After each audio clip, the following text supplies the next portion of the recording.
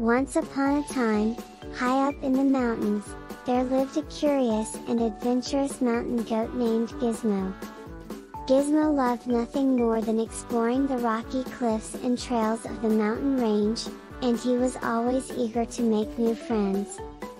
One day, as Gizmo was making his way down a steep path, he came across a small turtle who was struggling to climb up the rocky slope.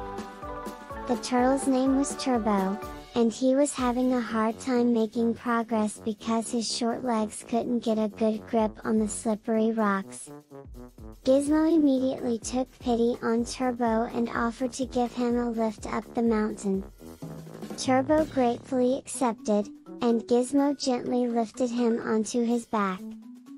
As they made their way up the mountain, Gizmo and Turbo became fast friends. Gizmo was fascinated by Turbo's slow and steady nature, and Turbo was delighted to have a new, adventurous friend like Gizmo. Together, the two of them explored every nook and cranny of the mountain range, discovering hidden waterfalls and secret caves along the way. They had all sorts of fun and exciting adventures, and they became the best of friends.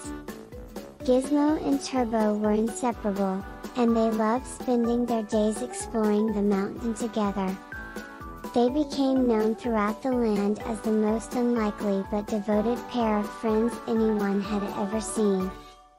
And so, Gizmo the mountain goat and Turbo the turtle lived happily ever after, enjoying many more adventures together on the mountain they both called home.